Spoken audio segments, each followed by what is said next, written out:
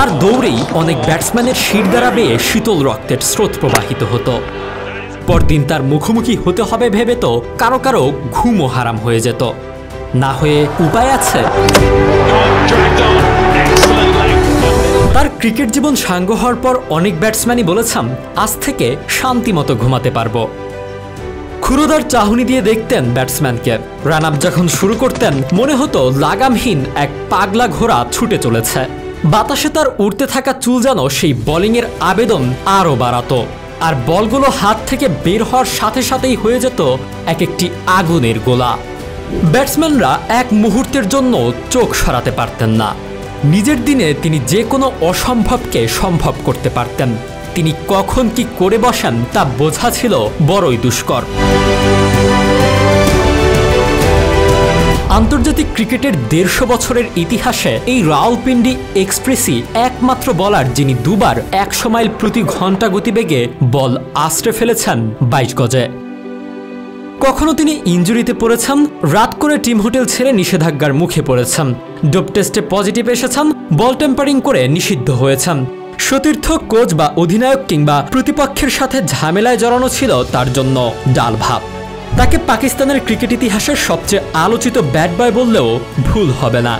কিন্তু মাঠের শৈবকে মাপতে ওই সব ভুল তুল্যমূল্য হতে পারে না কখনোই। কেননা প্রতিভাবানরা তো একটু পাগলই হন। মোটেও বানানো কথা না। বিজ্ঞানী তো এক যুগ আগে বহু বছরের সাধনা শেষে দিয়েছে এই সনদ। তাই শোয়েব নামটা মনে পড়লে আজও চোখের সামনে ভেসে ওঠে প্রজাপতির মতো ডানা মেলে দৌড়ে আসা এক কৈশোরবেলার প্রেমের কথা। যার মতো করে বল করতে ইচ্ছে হতো আমার, আপনার, অনেকের। কিন্তু পারতাম না কেউই। আর শোয়েব নামটা মনে পড়লে ঝরে পড়ে অগণিত আফসোস তার মতো আরেকটা ধ্বংসযোগ্য পেল না ক্রিকেট পৃথিবী। ফিটনেস নিয়ে এত জারিজুরির পরও, বোলিং নিয়ে নিত্য নতুন গবেষণার পরও, পৃথিবী আরও বহুদূর এগিয়ে যাবার পরও। তিনি ছিলেন পেস জিনিয়াস।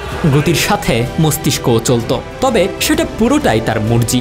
দুই বলের ব্যবধানে তিনি দুই ব্যাটিং গ্রেড রাহুল দ্রাবিড় ও সচিন টেন্ডুলকারের উইকেট পেতে জানতেন। এগারো বলের মধ্যে রিকি পন্টিং, দুই ওয়াভাই আর অ্যাডাম গিলক্রিস্টকে বিদায় করেছিলেন।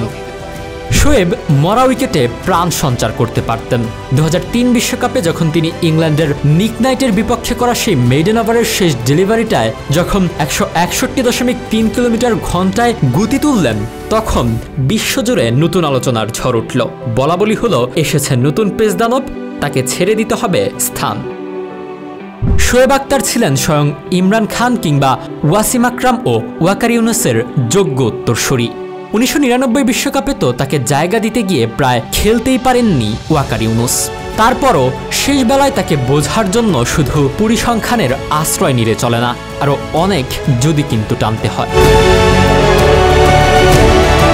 আসলে নিয়মিত ছুরি কাচির নিচে যেতে হবে জেনেও, আজীবন শারীরিক ধকল সইতে হবে জেনেও শোয়েব কোনোদিন আপোষ করেননি গতির সঙ্গে।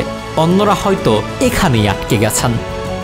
দর্শকদের আনন্দ দিতে শোয়েব হয়তো নিজের জীবনকেও উৎসর্গ করছেন। শোয়েব মুগ্ধতার পরিসর তাই উপমার্হিত।